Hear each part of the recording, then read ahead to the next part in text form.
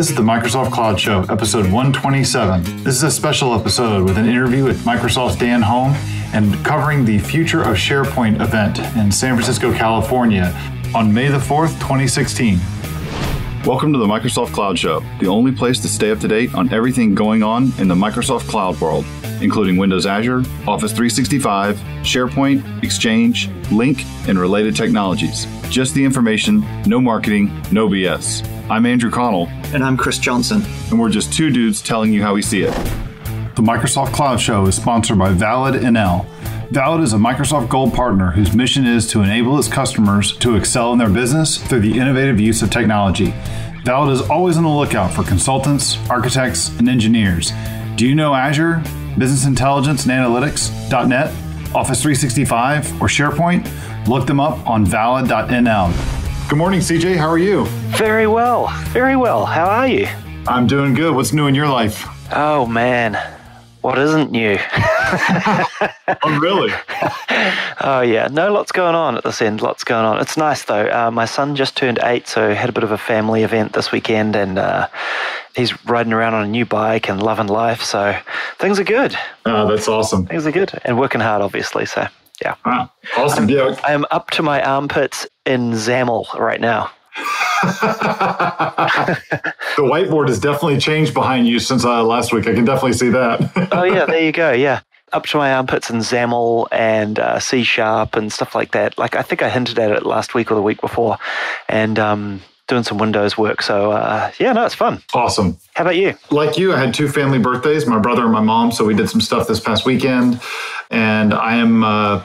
I've been eyeballs deep, uh, eyeballs deep, eyeballs deep in trying to like redeploy my multi-tenant orchard deployment that I use for my blog, my site, the podcast, and a couple other sites, and trying to get it in a much cleaner way. It's really cool what they've done because now you can have no settings and no configuration in the code base, but instead uh, have a couple change, a couple tweaks in the app settings. So like up in the Azure Web App and then put uh, all the rest of the, the main sensitive stuff is in Azure Blobs. And so I finally got all that working, but we have kind of a big episode coming out this week. And so I've decided not to push it all out to production. It's all running in my staging and test stuff, but I'm going to wait to. That is a smart move. I see you've done this before. yeah, exactly. I am the developer who is terrified of doing deployments. That's why continuous deployment, I love it because lots of little updates makes me feel so much better than one giant update. Exactly. Exactly. Yeah.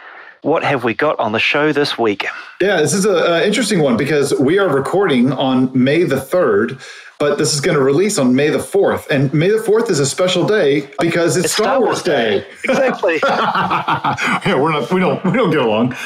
so May the 4th uh, is, uh, as you guys, if you haven't heard the news already today and you haven't already picked up on it, May the 4th is the future of SharePoint. So Microsoft held a special event today or the day that you're that this podcast is being released they held a special event in San Francisco, California today that they called the Future of SharePoint. And it really is a vision event. And the idea behind it was to really kind of do a, a, reset on SharePoint for everybody to understand where they're going, what their plan is, what their vision is, and stuff like that. So CJ and I have some stuff that we want to talk about first, but what we did is we actually, uh, just a day or so ago, I sat down with uh, Microsoft's Dan Holme, the new Microsoft's Dan Holme, who is the director of marketing for SharePoint. And Dan and I talked about all the stuff that was disclosed today, that the day you're hearing this on May the 4th. I keep saying today, I'm gonna that's gonna be in the context of May the 4th. Sure. Sure. So Dan and I talked about a lot of stuff. We talked about the new team sites, we talked about document libraries, we talked about a lot of cool stuff that's coming down the pipe. Unfortunately, we also talked about two other things uh, something called the SharePoint framework, and then also something called Microsoft Flow and how they relate to SharePoint. But we had a bit of a technical problem, and 50%, my recording went great. It recorded all 52 minutes of our interview Dan, well, his recording died on 26 minute mark, and we can now um, confidently say that it was a problem with Chrome and Windows 10 that failed on it. And so we didn't have a backup recording going. Dan was kind enough to to jump on and do the recording at seven o'clock in the morning his time when he was slammed and getting ready for May the 4th. And sadly, we tried, but we were I was unable to reconnect with him. So what we're going to do at the after CJ and I talk for just a minute here, Dan and I are going to, or I'm going to, we're going to play the the 26 minute part of the interview that covers the new team sites, covers the gist of what happened on May the 4th, and also covers um, the new publishing stuff that they also released on May the 4th.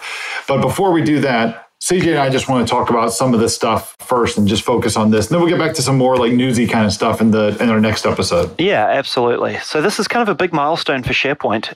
It's been a number of years coming and uh, it's super important for the product, I think, because you know a few years ago when I when I was working at Microsoft, uh, everybody was pretty doom and gloom about the future of SharePoint, right? Everybody was like, "This is the last version of SharePoint on-prem, and what are Microsoft doing? They don't know what they're doing, and this is ridiculous. There's never going to be another." Because Microsoft wears blinkers when they see something shiny, and a few years ago that was Office 365 and the cloud, and so Microsoft got its blinkers on. I call them blinkers. You know those things you stick on the side of a horse to keep them looking the right direction. And so Microsoft had their blinkers on and were looking at the cloud as like the future of everything at Microsoft. And Microsoft has to do that internally. The culture is you've got to be looking at the shiny thing like that that you need payoff in five to eight years away. Otherwise, people are in complete and utter disarray and don't know which direction to go in. And so it's just the kind of the way Microsoft works. They get these blinkers on and they've got to, you know, aim for the thing that they've got to hit in five years' time or it doesn't happen. But everybody externally took that as Microsoft no longer cares about SharePoint on premises and mm. all of that sort of stuff. And so everybody was all doom and gloom about there never being another version. And of course, that didn't prove to be the case at all. SharePoint 2016 is RTM'd. It RTM'd, I think, in February or some, or March or something like that. Yeah, think uh, March. Pi Day. March March 14th. Oh yeah, it was too. It was Pi Day. Yeah, you're right. And which is obviously great because you know, SharePoint on premises is a ginormous business and continues to be and will continue to be for many, many, many years to come. And Microsoft are not completely stupid, believe it or not. Contrary to what many people will believe, there are some sane people there, and uh, and you know, just dropping a two and a half or three billion dollar business on its face is not a very smart move in most people's books. And so to me, this is absolutely no surprise that there's been another release of SharePoint for on premises. But the SharePoint, uh, the future of SharePoint event is primarily about what's coming next, not what came in the RTM of SharePoint on premises. So that's why they're holding this event to sort of paint the picture. Hey, we've done this on prem thing, and here's where we're heading over the next wee while with SharePoint. Yeah, and this, as Dan talked about in my interview with, you'll hear that there was nothing that was kind of there's nothing you can go play with today. There's some stuff that's a little bit that you might have seen that's new. Like for example, the document libraries have gotten a bit of a, some of the doc doclib. Yeah. They got a refresh because now they look a lot more like OneDrive, which I mean it makes sense. Let's have a consistent experience across Microsoft properties.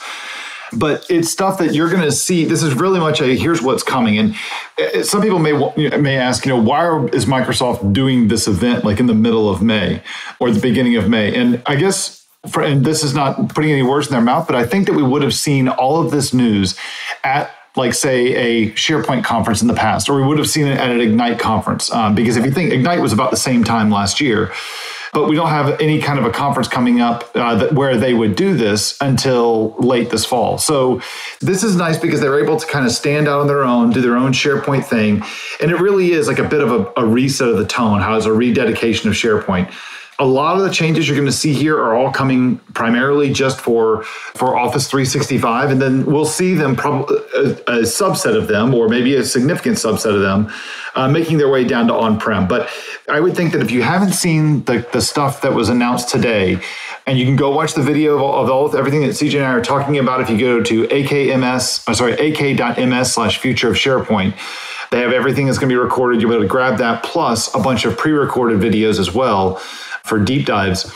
All of that, this is all kind of like a future kind of looking forward stuff. If you're looking for on-prem stuff, stay tuned. CJ and I actually have have an interview that we've done with Todd Klindt, which I can't wait to share it with you guys because I haven't laughed that hard in a long time. that was a good show.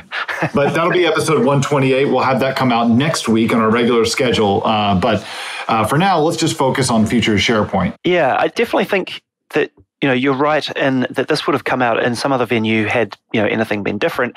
I do think this is uh, this is going to sound a little crude, but this is this is Jeff Teper a leg and on his patch. So this is this is marking his territory, right? It's been a while since he's come back to SharePoint. He's the corporate vice president of OneDrive and SharePoint, and he's come back, reset the vision, set the priorities and the strategy for SharePoint. And this is the first event where we've really got to see what he's got in store for the future of SharePoint, right?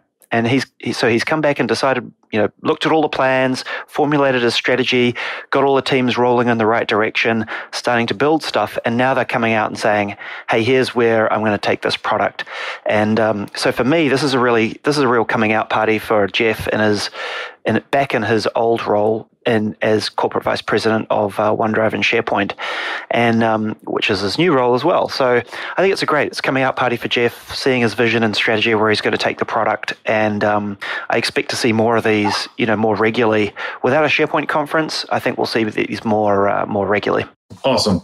One of the things that we didn't get a chance to talk to to Dan about, or at least, sorry, I did, but nobody else did apparently. Nobody get to hear it. Is that we? One of the things that Dan and I talked about is uh, again was the uh, SharePoint team sites and uh, the main tone of it. Uh, we also talked about some of the publishing improvements, but CJ and I are going to hold off on talking about that because that was in the interview.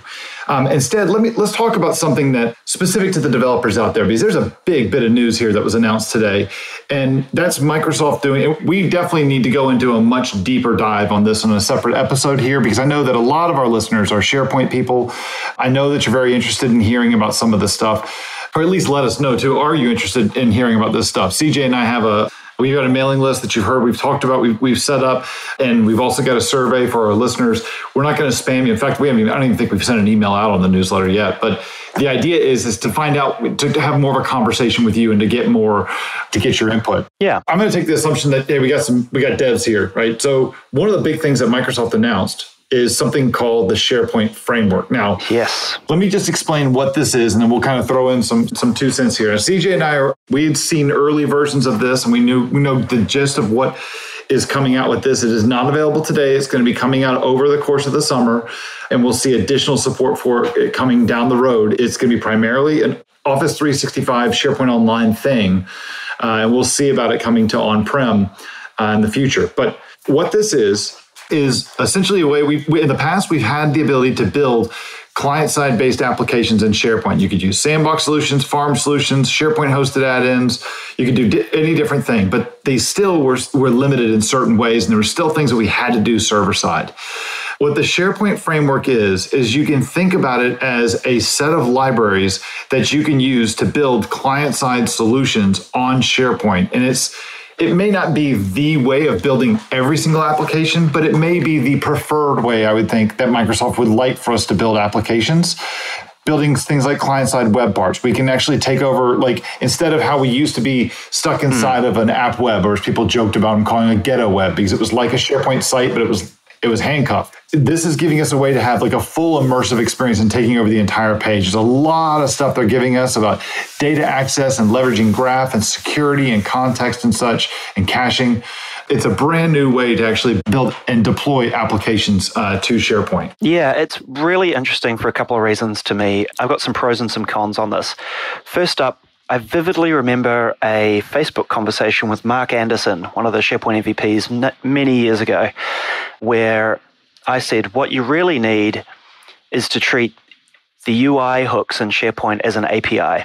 And that SharePoint has never done this before, right? SharePoint has never really said, outside of web parts and a couple of menu things, they've never said, here is an API for UX that you can hook into and to do your thing. And so there have been people you know, far and wide over the last few years, over the last five, ten years even with SharePoint, who have hacked, hammered, bashed, squished, wedged, any adjective you want, right, to try and get their apps into SharePoint or customize the SharePoint UI. And it's all been really disgusting and hokey and because it's never been built to do it that way, right? And so people have been sort of trying to bend it to their will, uh, and it's been fragile and painful to do. It hasn't been super robust because, you know, as we know, Microsoft introduced a change and all your UI stuff breaks. This is the first attempt, in my view, this is the first attempt that SharePoint has had at making the UI an API. And by that I mean defining a set of hooks in a very clear way that developers can take advantage of to extend the UX in SharePoint. From that perspective, I'm super excited about it because I think it'll give these guys ways of building things that are much safer than what they're doing today. The downside of it is I think we're going back to full trust code days with this model. Like it looks to me like it's full trust code again. It's admin deployed. It's um, all your JavaScript and all your stuff is running in the context of a site. It's not isolated in any way. So to me, I'm yet to draw a complete conclusion on this, but uh, I need to play with the model some more. But it feels like a little a little enterprisey and not enough ISV because it's painful for customers to go and install ISV products that have uh, full trust? No, I haven't seen it in a few months. I'm not going to say anything about it because I haven't I haven't had a chance to to look at what what the progress they've made over the last few months. Nor have I seen um, yet what they released today or they announced today because frankly we're recording this before they actually announced and showed their videos. That is fair. I, I do want to spend more time on this, and I do. It is a pretty big deal, and the question is going to come up: what yet another development model? We went from farm solutions to sandbox solutions to add-ins, and now we're going over to SharePoint framework, nothing is being deprecated, nothing's being taken away. What I do think that we need, uh, what I do think that we will do, CJ and I will do, is we will reach out to Microsoft and get someone to come on the show to have a deeper uh, discussion about it because it is a pretty big piece to the development story for Office 365 and the cloud development piece. So we'll yeah. we'll definitely find someone there. In the meantime, I would recommend that everyone first go again go to aka.ms future slash future of SharePoint and go look at the videos there. Look at stuff that people like Dan Kogan, Chaks, Luca Bandinelli. Look at what those guys are talking about because those are the guys on the team that are actually building this stuff. I also would recommend Microsoft did hold two developer kitchens, one in the US and one in uh, Europe, where people from the community and from ISVs came in by their invitation and did a lot of work with this new framework to see what they could build. And I've, I've heard really positive things from the surface from all of those people. Microsoft has asked them to uh, share their experiences. We're not going to see a lot of code or full blown solutions and stuff because, again, this is not yet released. But I would recommend you go check out a couple different links. We'll have them in our show notes. We'll also have them in the uh, notes on the post as well in your uh, your blog or your podcast uh, list app. Posts by the likes of Doug Ware, Marc Anderson, Waldek Mastykarz, Mikael Svenson, Paul Schaeflein, Chris O'Brien, uh, Wictor Wilen. Those that's like the who's who of a lot of the different devs that are out there. Yep. They have all committed to having posts that are out there. It should be published as of the time that you get this episode. So CJ and I have seen some stuff, but we haven't built anything with this framework yet. I would rec- I would recommend you go look at what those guys have done because they're the ones that have actually had hands on, and they don't work for Microsoft, so they're going to give you a really good perspective on it. Very true. Very true indeed. Yeah. So. CJ, why don't we go ahead and just run the interview here with Dan? Uh, let it go, and then we'll do a quick little wrap up towards the very end. Sounds good. Awesome.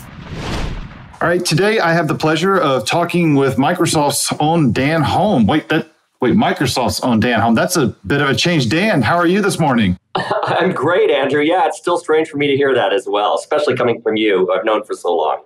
exactly. Yeah. So uh, I guess we should start with an introduction here. Not like you need an introduction, but we mentioned that you know that when you switched over to Microsoft just in the last few weeks, a uh, month or so, and tell the listeners like who are you and and how can they? Uh, what's this at Microsoft uh, domain name that you've got behind your uh, your name now in your email? I know it's kind of crazy. Yeah, as, as, you know, I've been an MVP for about ten years on SharePoint, and uh, I've been in technology for twenty years at this point, more than two decades in fact. And just exactly a month ago today, four weeks ago, I joined Microsoft and came on board as the director of product marketing for SharePoint. So now I'm lucky enough to be working with the likes of Bill Baer and Mark Kashman and Chris McNulty and Seth Patton and to have day-to-day interactions with the incredible Jeff Teper and, and Adam Harmetz and Jeremy Mazner and their teams. It's really surreal to be on this side of the Redmond address now and a real honor. Yeah, that's awesome, man. I, mean, I, I, know you've been a great advocate for the SharePoint, the product, and the community for, gosh, I don't even remember when we first met, but it's been, we don't need to go that far back, I guess. we don't, it's embarrass the, the, both of us here. But um, yeah, it's been, I mean, it's a huge asset for Microsoft to pick up you to join Microsoft and help them. And I tell you, from, from someone who sits on the outside, uh, definitely gives me a nice comfort to know someone that like you have the your hands at the wheel. So it's nice to very nice to know like on the marketing side very very trustworthy very reliable person. So it's very nice to have you uh, have you over there. Well i appreciate that you uh, that you feel that way andrew obviously. And you know if, if a few people see that my move to microsoft is an endorsement of what i see microsoft doing that's actually true. I wouldn't have taken this job years i wouldn't have taken this job two or three years ago even. I think what what we've done as a company at Microsoft, and it's still strange for me to say we. I was about to say that's pretty good to do that so quick. What we've done here at Microsoft over the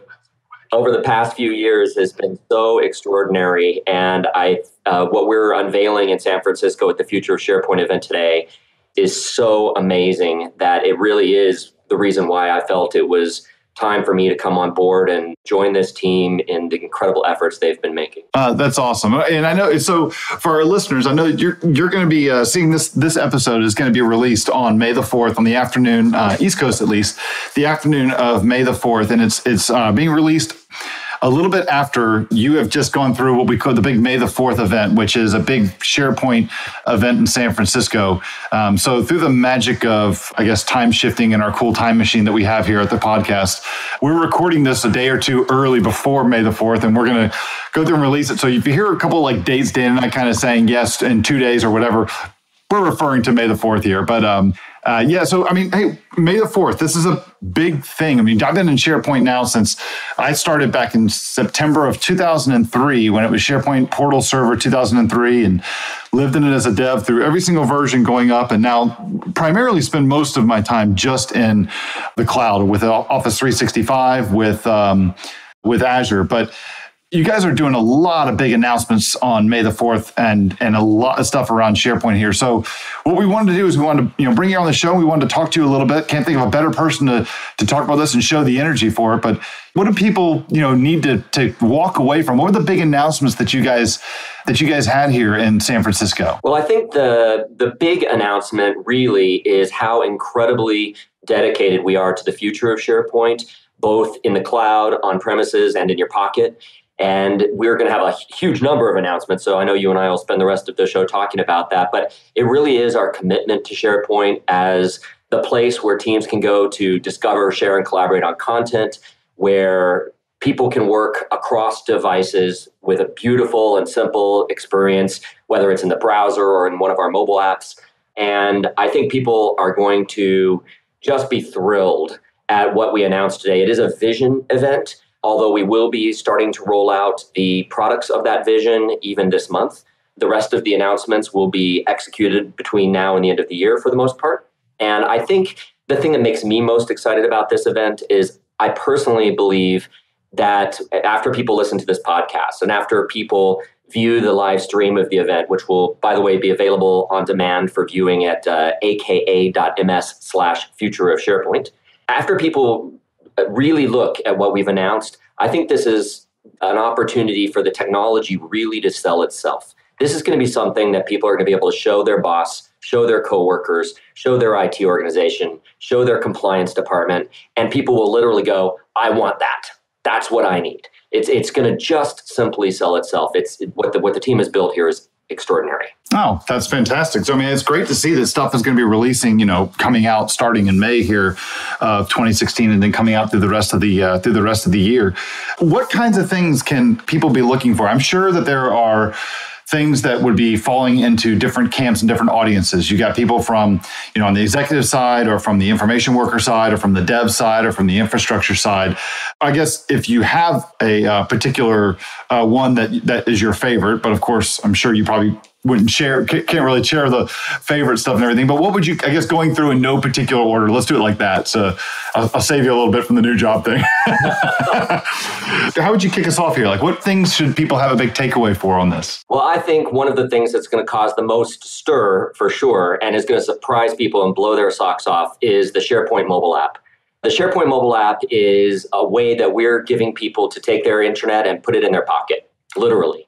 Uh, and it's going to give you a beautiful experience browsing your SharePoint based intranet, whether that intranet is in Office 365 or in on prem with SharePoint 2016 and SharePoint 2013, even. Uh, and this is something that our customers have been longing for for a very, very long time. We'll have the opportunity for organizations to curate news and announcements to their uh, team, to their organization. It's going to give you, as a user, really seamless access to all of your SharePoint sites. So you might be familiar right now with the current SharePoint sites page uh, in Office 365 or in SharePoint 2016. Uh, that page experience comes onto the phone with the ability to see sites you visited recently and sites that are surfaced to you intelligently through the power of the Office Graph. So you won't have to spend time digging for sites that you that are important to you. But if there's a site that is something you know you need to follow, you'll be able to literally follow that bookmark it, so to speak, and it will be available to you right from the sites tab of the app. And then when you go into one of your team sites, it's going to render beautifully. And this uh, it, this includes not only our new team site experience that we'll talk about in a few moments, I'm sure, but also mm. your existing team sites and any custom experiences, apps, and pages that you build. So all within one application, one mobile app, you're going to have the ability to get to all your content, collaborate on it, and also to the people you work with. Well, one mm. of the hmm. things that we're finding is over time, the people side of collaboration is becoming more and more important, which it should be. It's about people. Mm. And through the uh, through the people tab of the app, you're going to be able to get to your coworkers, to people who are working around you that, that you can either search for or find through Office Graph. And from those people, see the content they're working on. So no longer, for example, am I going to have to say, oh my gosh, I know Andrew shared this file with me. What the heck folder was it in? I'm going to be able to go to the people tab of my mobile app, go to you and see that file that you shared with me. Um, it's going to be a much more personal, people driven experience. I need that just for my own stuff to see what I've been working on to be able to find my own stuff, much less who's been sharing stuff with me. I use, I use it exactly that way. And everyone here at Microsoft who's been using the app, it really, truly changes the way we work. It's and, and it's in a very good way. Oh, that's fantastic. You mentioned uh, a second ago new team site experience. That's like right off the bat, that was like, you know, light bulbs pop off. Like, wait, wait, wait a minute. What's, what's that? Uh, this is this is really exciting and one of the things that just almost gives me chills every time I talk about it. So the team site experience in SharePoint has been evolving over the years, um, but I think everyone would agree that uh, today it doesn't look terribly different than it did in Microsoft Office SharePoint Server 2007. So we knew that there was a huge opportunity to invest in team sites and to make them mobile first, cloud first, and intelligent. And so now when you come to a team site, you're going to have a, a beautiful experience when you land that will allow you to uh, see content easily that again can be curated by your team or can be surfaced through personalized experience driven by office graph. Um, and then within the team site itself everything's getting a beautiful refresh. So the document library experience has been refreshed. In fact we started rolling that out to first release tenants um, already the last couple of weeks and we can talk more about that. Uh, we're hmm. refreshing lists uh, and making them mobile and beautiful inside the uh, mobile app. We're creating a new publishing experience. I know you'll want to talk about that.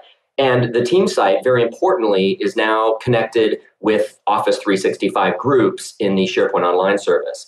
So that means now every group will have a team site and we'll get that rich collaboration that a team site provides.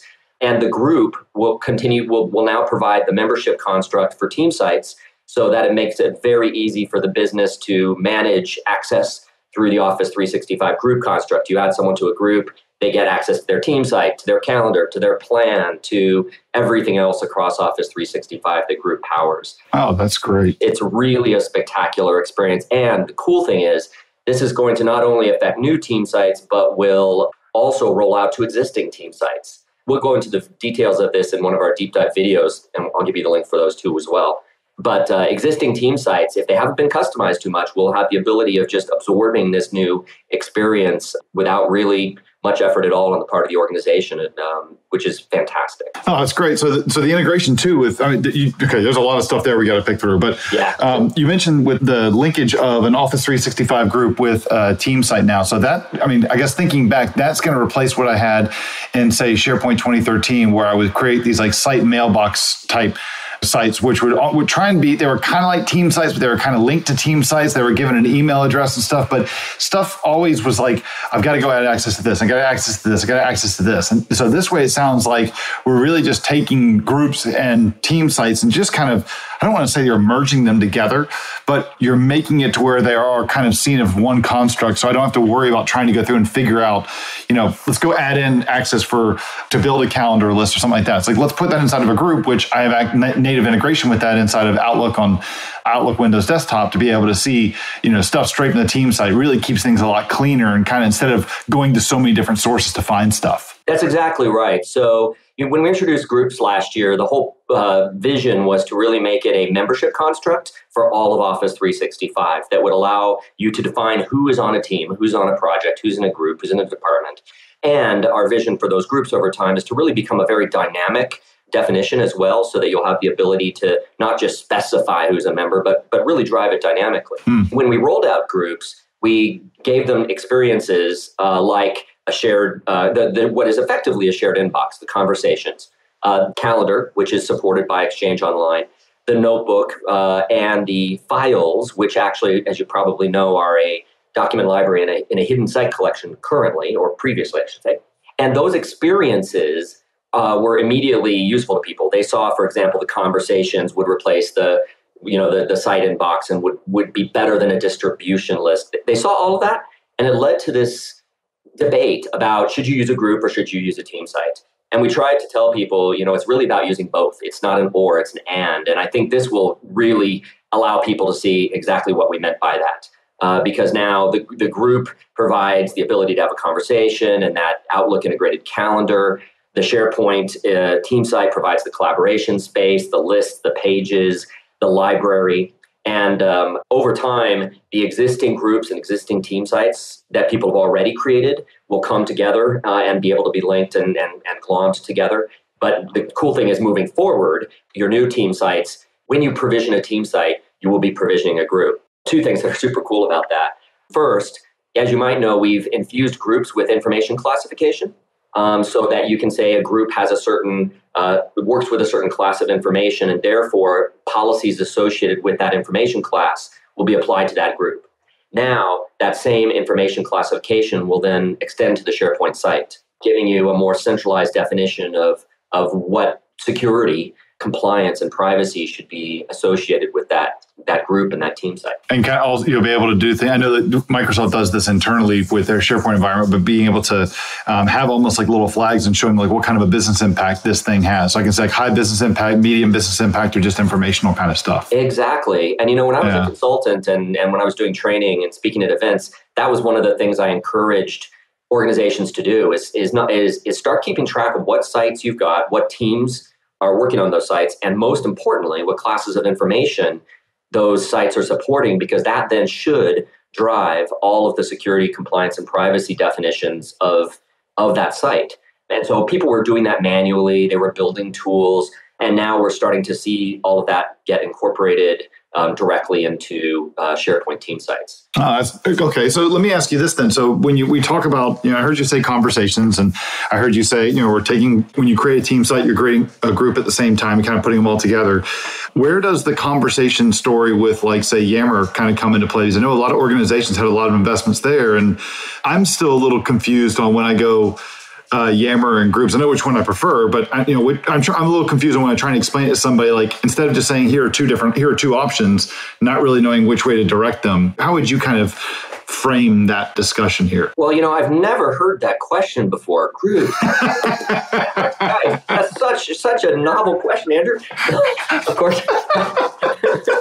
That's the sixty-four thousand dollar question. We hear it all the time, and the reality is, you, there really are, and there continue to be uh, several options for conversation. So uh, Yammer is still, you know, very much supported. People have seen we've been investing heavily in it, so it's not going anywhere. And Yammer will be able to incorporate, integrate into SharePoint team sites, and the groups definition is is getting incorporated by Yammer as well.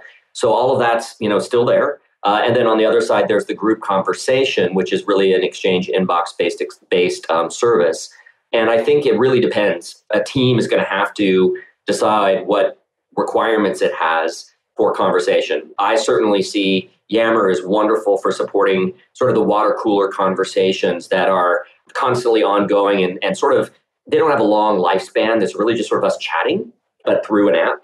Whereas I think group conversations are better suited for things that are going to go over a long period of time, that maybe you want um, the ability to drop a new team member in a team and give them easy insight to what's happened so far. That's possible with groups. When someone joins a group, they can see all the past conversations very easily.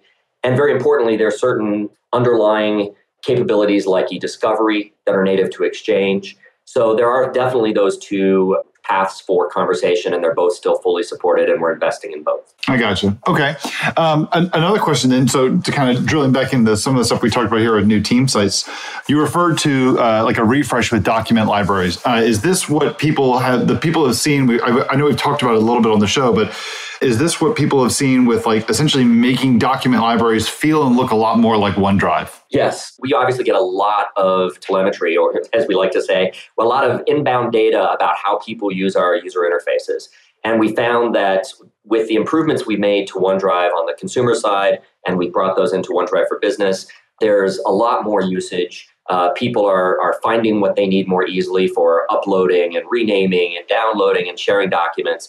And so we've brought that learning into the document library experience where now the modern document library experience includes a quick action bar at the top. The ribbon is not there by default, but you have the buttons you need most regularly, and then you've got the three dots, just like in OneDrive for Business, that drop down all of your other commands, including your custom actions. And the goal then is to you know, really unify the experience. So what you've learned in OneDrive applies to your document libraries. Now, of course, mm-hmm. behind the scenes, document libraries are you know have significant power beyond what OneDrive Consumer and even OneDrive for Business offer. Uh, we've got content types, we've got metadata, we've got workflows, we've got customizability um, and process. Uh, and all those things still exist in the document library, and we're just making them easier to, you know, easier to get to. So you're not having to dig through a ribbon to get to those things. Mm. And one of the key user interface constructs that helps with that is the information panel. So very much like it in OneDrive or OneDrive for Business, when you when you select a file, you can click the eye in the upper right corner. It gives you an information panel on the right that gives you super easy access to your metadata, so you can fill in all your metadata without having to you know pop up an extra window. And uh, my personal opinion is it, it really is a great new interface. I, I really like it. The people who've worked with it have really liked it. So we're, we're excited to continue rolling that out through first release and then into the general public. Awesome. Oh, by the way, one of the things I love here's one of the things I love most about it. So, when I was working for IT Unity, we had you know we wanted to have an image library um, where we had logos and, and images and all that stuff, and we wanted to make it something that people who were in our marketing department could actually keep synchronized on their computer. And we had this challenge of you know OneDrive or sorry SharePoint document libraries can synchronize but they don't have really the thumbnail view in the classic SharePoint document library. And so we tried the photo library and we tried the, the media, the asset library, and those couldn't sync. And now with this new experience, you've got a gorgeous, rich thumbnail view. You've got um, access to information about the, the document and what's happening to it. And so you, you, you know, it's the best of both worlds. You can sort and group now with your metadata columns, so you don't have to necessarily shell into the create view interface to group things. And you can even pin documents to the top. So if there's if there are documents that you think are really important to the library, you can pin them to the top so they're just there and you don't have to go scrolling through your library to find them. Great improvements. I'm looking forward to spending a little bit more time with that to be able to see like what the benefit is, the firsthand benefit. You also mentioned something about a new publishing experience or a refreshed publishing experience here. You you talk a little bit more about that? That's something that's been oh my goodness, back from uh, that's how I really got into SharePoint. So back when I got out of college, uh, I went to go work for a uh, little web development startup shop uh, where we did a bespoke content management system. Uh-huh. I, I, we called it AdminNet, and it was uh, at the time I didn't realize what I was doing. Sorry, let me say that differently because that didn't sound right. you never know what you're going um, Exactly. Yeah. at the time, I didn't realize that what I was doing actually is a thing now. So I was building single page apps using Ajax, but I was like writing to an iframe and doing post back and parsing out stuff that came back. But we didn't have all these beautiful libraries we have today and manage the content on a site. And then I went in to go work for another company. We started using content management server. Then we merged CMS and SharePoint together. And then that's how I got into SharePoint. And then the whole WCM thing is kind of a, was a sweet spot of mine for a long time uh, for SharePoint. So you say publishing refresh. That kind of popped my ears up a little bit here. So can you talk a little bit more about that? Yeah, we've got a gorgeous, gorgeous new page publishing model now that uh, you will just love. We gave a hint of it when we rolled out the new authoring experience in the Delve People blog, uh, where if you've used that, you know that it's super easy to create a really nice blog post and add images and and to to just with just a few clicks, you know, add content and and make it just gorgeous. We've extended that into the new publishing model for SharePoint team sites, where you're going to be able to create gorgeous pages just as easily as you would on some of those really popular third party create a website kinds of uh, applications but you're going to and you're going to be able to use custom web parts. Uh, we, will talk we can talk more about that in a moment for sure. And it's all mobile by default. So when you create a page it's going to be responsive it's going to look beautiful in the sharepoint mobile app and you can share it across your organization very easily as well. All right, so this is the point when the recording for Dan's uh, track actually got we had an issue with it and we lost Dan. So it really, really is disappointing because we missed some some really good conversation with Dan. Um, as a call to action too, just to kind of let everybody know one of the things we did do at the very end of the interview. Um, you can find Dan, follow Dan on Twitter. That's at Dan Holme, or you can also follow him on Facebook, which is facebook.com slash holme Dan. Yes, that's backwards. Found that kind of interesting, but that's his uh, his SharePoint page for himself on Facebook. One of the things, and then again, you can also find out everything about the event at aka.ms slash future of SharePoint. He did talk about a couple other things that I did want to highlight.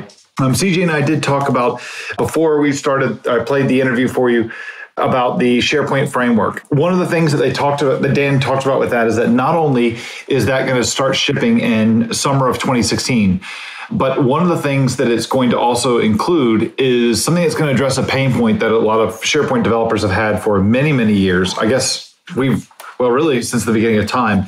And that is the ability to build stuff locally on your own machine. So it's going to have something called the workbench, which is supposed to make it to where you don't have to have a SharePoint install in order to build one of these things.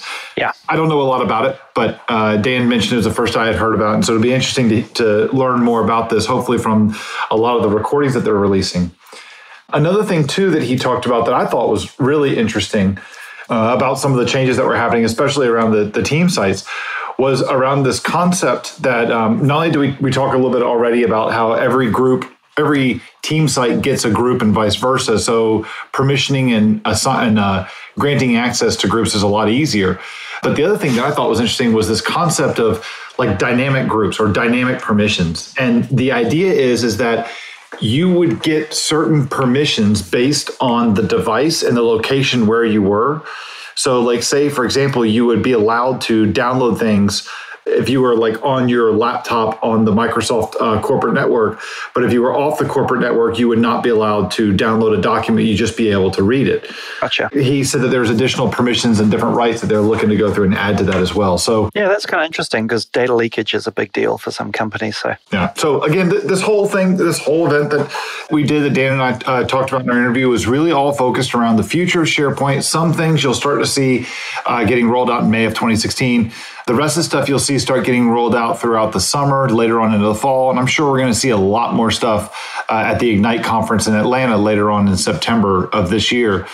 Yeah, so CJ, what's your what's your take on this whole thing? Like, do you what's your kind of big walk away from the future of SharePoint event that we had today? Overall, I'm quite pleased with it. To be honest, like I think putting a stake in the ground and saying, "Here's what we're working on," is a great thing, right? Rather than sort of trickle feeding out things as they come out. I think doing this event in lieu of something like a SharePoint conference or another big event is is a really nice rallying point for the community and for customers around SharePoint again. And so from that perspective, I'm really positive about it. From the individual announcements, probably the most the, the thing I'm the most excited about is refreshing the end user experience around team sites. I think that um, one of the biggest struggles uh, a lot of customers have is getting people using the tools and training them up on how to do it. And I think a lot of that is just that the end user experience on especially around their web experiences has fallen way behind and uh, was just too complicated in the past. And so I think I think that's a really that'll be a really positive thing for um, for SharePoint with end users uh, because they all whine about how hard it is to use, right? And and it's fair. It just hasn't kept the pace. So I think that's really exciting. I'm hedging on the dev stuff for now. I I need to learn more about it. So I mean, I know the basics and I know the kind of direction it's going, and I've worked with that team while they were cooking it all up, obviously. But um, as the bits come out, I've got to play with them. So um, to me, it feels too much in the enterprise customer focus bucket for me to be excited about it being an ISV. Yeah, that's fair. I think I agree with you on all the stuff about SharePoint. I I have been from SharePoint in and of itself. I do I it's a good thing that they're putting this kind of an event out, not waiting for a big conference. I like how the Azure team has the Azure Con where they go through and they release a bunch of their own stuff that they're working on, and they have all the recorded videos. I really like this new format that Microsoft is using, where you have a a very presentation style event that is streamed live that you can go see, and then there's also deep dive videos that you can go see uh, more information about it. I like that because really, I mean, uh, from personally, I know I'm, I'm considering going to the Ignite conference later this fall, but I've already decided that I'm not going to buy a, a, a, registration for sessions unless I get picked to speak, and then of course I'll I get one of those, but which will be nice because then you can go see the sessions. But to me, it just doesn't I don't see the value in actually going to watch the sessions at a conference.